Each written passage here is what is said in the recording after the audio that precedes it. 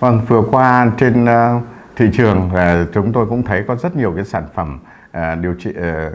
hỗ trợ điều trị bệnh trí có xuất xứ từ thảo dược thiên nhiên. Nhưng mà gần đây tôi thấy có một cái sản phẩm cũng có tác dụng hỗ trợ điều trị bệnh trí cũng có xuất xứ từ thảo dược thiên nhiên. À, nhưng đặc biệt đây là một cái điều mà nó phải nói là điểm mới trong à, vấn đề dược và cũng như điều trị trí. Đấy là sản phẩm được chế dưới dạng viên sủi. Cái điều đặc biệt ở đây à, cái sản phẩm này là được bào chế dưới dạng nano phân tử. Ờ, có những cái kích thước ờ, siêu nhỏ vào phân tử vào máu và cơ thể à, tăng gấp 98% và bởi vậy dẫn đến cái hiệu lực của thuốc cũng tăng lên hàng trăm lần. Ờ, hơn hẳn các cái bào chế dưới dạng ờ, gọi cổ truyền nó không có được nano hóa thì đấy là cái ưu việt và từ đó dẫn đến tình trạng ờ, bệnh lý như trí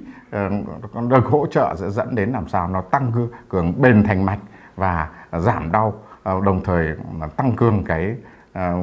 Ờ, đặc biệt nữa là tăng cái ờ, prothrombin của các cái sản phẩm tự nhiên dẫn đến tình trạng ờ, cầm máu không có, có chảy máu trong điều trị trí và đặc biệt nữa là tăng cái hấp thu của cái hệ tiêu hóa dẫn đến là nhuận tràng. À, đấy là cái ưu việt và cái sản phẩm này cũng được bào chế trên một cái công nghệ dây chuyền khép kín. Nó là cái bước đột phá trong quá trình điều trị hiện nay một số các cái thảo dược thiên nhiên. Và ở đây tôi nhấn mạnh là cái Ờ, rutin ờ, dưới dạng nano được chiết xuất từ ờ, cái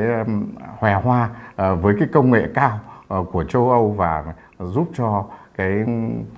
các thành phần của thuốc nó vào cơ thể được nhanh hơn và cái kết quả của cái sản phẩm Emocitop này nó cực kỳ hữu dụng, tăng gấp khoảng hàng trăm lần so với cái sản phẩm thường.